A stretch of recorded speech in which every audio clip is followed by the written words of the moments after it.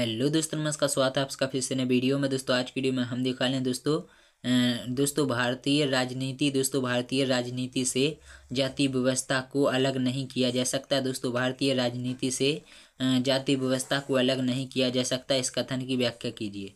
दोस्तों, यह कथन ठीक है। दोस्तों, यह कथन ठीक है कि भारतीय राजनीति से जाति व्यवस्था को अलग नहीं किया जा सकता, क्योंकि यह भारतीय राजनीति में महत्वपूर्ण भूमिका निभाती है। क्योंकि पहला है कि हमारे देश में निम्न जातियों के, दोस्तों, हमारे देश में निम्न जातियों के हितों की रक्षा के लिए बहुत से राजनीतिक दल आगे आए। निम्न निम्न दोस्तों, इन निम्न जातियों के नेताओं को मंत्री पद भी दिए गए, ताकि, दोस्तों, जातियाँ उन दलों के प्रति वफादार रहें। दूसरा है दोस्तों, देश में कुछ दबाव समूह ऐसे भी हैं जो विशेष जातियों से संबंधित होते हैं।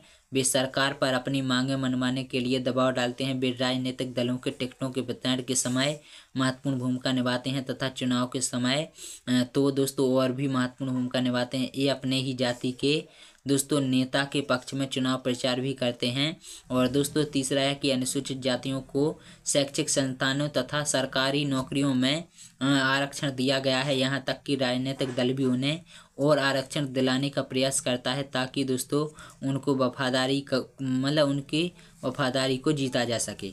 इस प्रकार व्याख्या मतलब इस व्याख्या, इस प्रकार इस व्याख्या को देखकर हम कह सकते हैं कि जाति व्यवस्था को भारतीय राजनीति से अलग नहीं किया जा सकता है। यह हमारी राजनीतिक व्यवस्था का एक अभिन्न अंग है। दोस्तों, आशा करता हूँ आप लोगों को वीडियो पसंद आएगी। वीडियो पसंद आए वीडियो को लाइक, शेयर करना, चैनल को सब्सक्राइब कर। लेना